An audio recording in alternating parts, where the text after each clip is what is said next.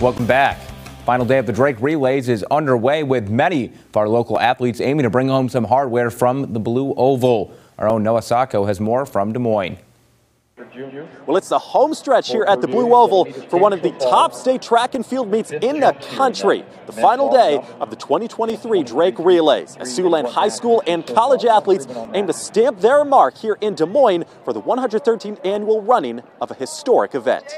Track action, women's distance medley final. Wayne State and Dordt within each other. Defender Molly Mulder anchoring home the last leg in 12 minutes, 32.4 seconds, six overall. Wayne State three seconds behind in seventh. More of the pair in the men's college distance medley. Trey Engen holding strong at fifth overall, crossing in 10 minutes, 3.5 seconds. Wildcats clocked through at eighth. Even stronger run in the Iowa college distance medley. Dordt and Buena Vista neck and neck into the final relay. Peter Shippey stays strong, 10 minutes, 21.4 second finish finish just a second off from Cornell in first. Beavers finished third in the event. Every day in practice, we just try to push each other to the, to the maximum, and yeah, it works out at meets like these, and we can compete against schools like Iowa and Nebraska and Purdue. And, yeah, it's just a blessing. Hurdles now, boys 4x110 shuttle. Spirit Lake qualified for finals in a school record time. Ethan Stecker keeping them in the top three. Indians, though, disqualified due to knocking over a hurdle. Girls 400 meters. Spencer's Jared Merchant, the second fastest time in 3A heading in, crosses in 10th with a new season high of 105.24. Shortly after, South Dakota's Aaron Kinney broke the 29 year school record in the 100 meter earlier this week.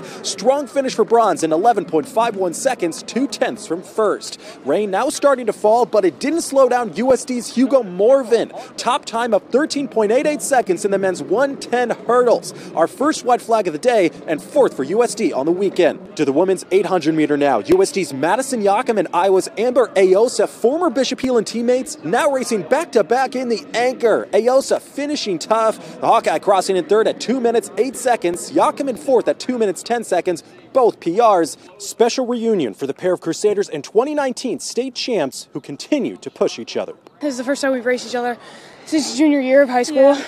We both wanted to take each other through in PRs and just, you know, work hard and see what we could come up with. We get to see each other every once in a while, like California and stuff. So yeah. The big meets, it's fun to come to our home track and work together like we did in high school. So that was just a fun, fun race. To the field, women's high jump. USD's Daniela Anglin cleared the bar at 1.76 meters. Now in a jump off with Nebraska's Jenna Rogers. She grazes the bar a little too much at 1.79. She'll settle for silver. And ending in the men's long jump. Great start for Northwestern's Braden Calvalage, leaping 7.31 meters, his first attempt. That'll earn him bronze, making for a surreal experience among a group of Division One jumpers, including the Huskers for the Nebraska native.